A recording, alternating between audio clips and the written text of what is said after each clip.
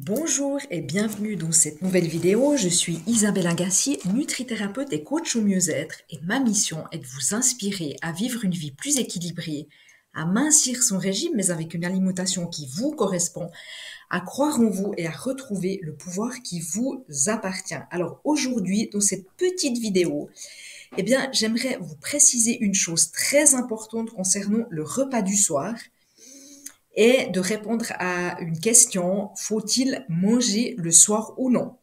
Mais avant cela, je vous invite à vous abonner à ma chaîne si cela n'est pas fait et à télécharger mes e-books que je vous offre gratuitement dans la description juste en dessous de cette vidéo.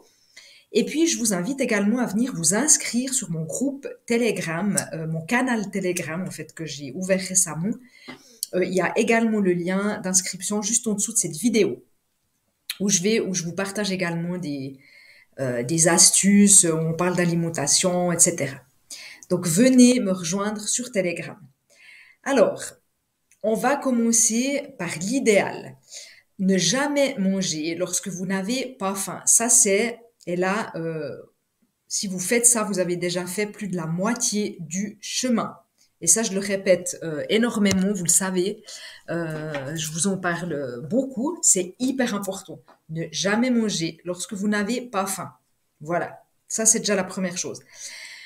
Après, eh bien, est-ce qu'il faut manger le soir? Faut-il manger ou pas le soir? Eh bien, si on s'en réfère à, la nature, euh, la nature qui devrait être notre guide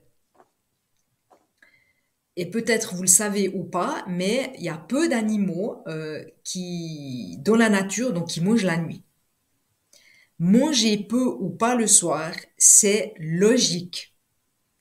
Étant donné qu'en dehors du métabolisme de base, le corps ne brûle pas de calories la nuit, tout ce que vous ingurgitez avant de dormir, eh bien, va être stocké dans votre abdomen.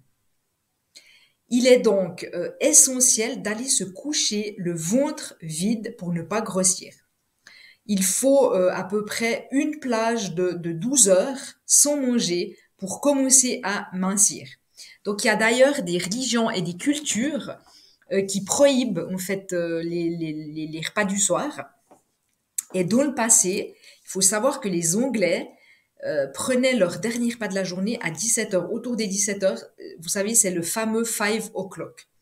Et en Suisse, le dîner des Français, qu'on appelle chez nous le souper, eh bien, le souper d'autrefois, notamment dans le monde paysan, c'était une soupe.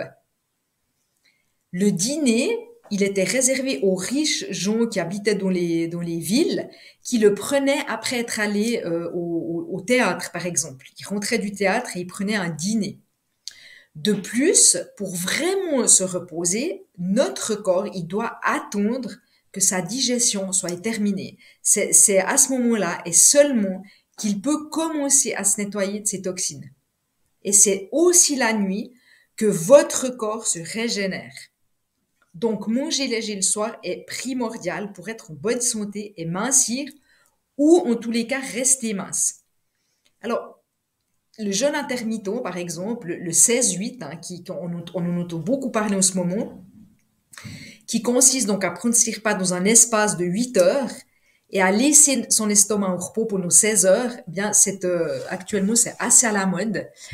Pour vous donner un exemple, euh, autre que de ne pas manger de petit déjeuner, qui est suivi par la plupart des, personnes qui utilisent le jeûne intermittent, hein, c'est, en gros, c'est, vrai que c'est le, plus simple pour la plupart des gens à faire quand on fait un jeûne intermittent, c'est de sauter son petit déjeuner. Mais là, en ce moment, j'ai une cliente qui a perdu 20 kilos en l'espace de, de oh, je sais plus exactement combien de temps, mais en 4 mois, je pense, 4-5 mois, elle a perdu 20 kilos en prenant son petit déjeuner à 10 heures, son repas de midi autour des 14 heures et son repas du soir à 18 heures au plus tard. Et elle ne mange plus rien après. Donc voilà, elle, c'était sa manière de faire. Elle a trouvé qu'elle elle, pouvait le faire, elle pouvait euh, s'organiser comme ça. Hein elle, a trouvé là, elle s'est vraiment calquée, c'était des horaires qui lui allaient parfaitement bien. Donc, espacer ses repas toutes les quatre heures, eh bien, ça lui a permis, selon elle, de ne pas se laisser euh, avoir trop faim et donc de ne pas trop manger une fois qu'elle est à table.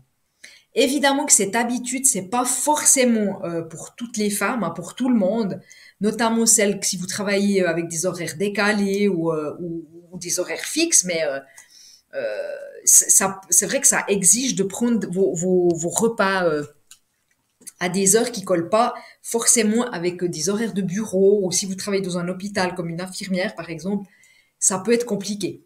D'où cette importance d'adapter en fait vos repas à votre rythme à vous, à votre rythme de vie, afin qu'il soit facile pour vous de mettre en place les changements et non de vouloir suivre à tout prix tel ou tel régime avec des horaires imposés, parce que ça, ça va pas, ça va pas fonctionner. Euh, si vous le faites, euh, si, vous vous calquez pas sur, vous-même en fait, hein, sur, euh, quelque chose qui vous correspond. Donc n'oubliez pas le message principal de cette vidéo, un repas du soir léger est pris assez tôt.